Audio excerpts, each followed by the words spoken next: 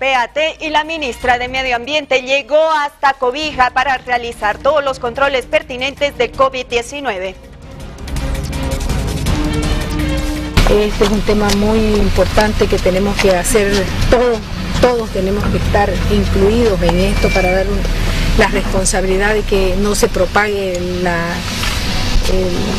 la bacteria. Y yo les voy a pedir a todos los medios de comunicación que eh, mantengamos las distancias unos con otros y ustedes también tienen que protegerse.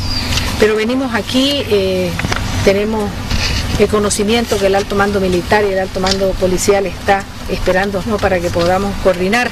Pero aquí existen dos instituciones que son territoriales, que es el gobierno departamental y el gobierno municipal. Esto es una tarea de todos. Trabajaremos con todas las instancias de aquí del departamento de Pando, con eh, la empresa privada también, si, si, el caso.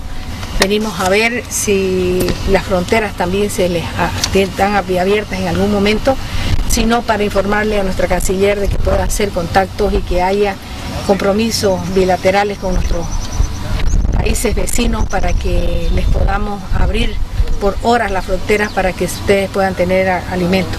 No podemos desesperarnos. En el desespero está que cometamos errores.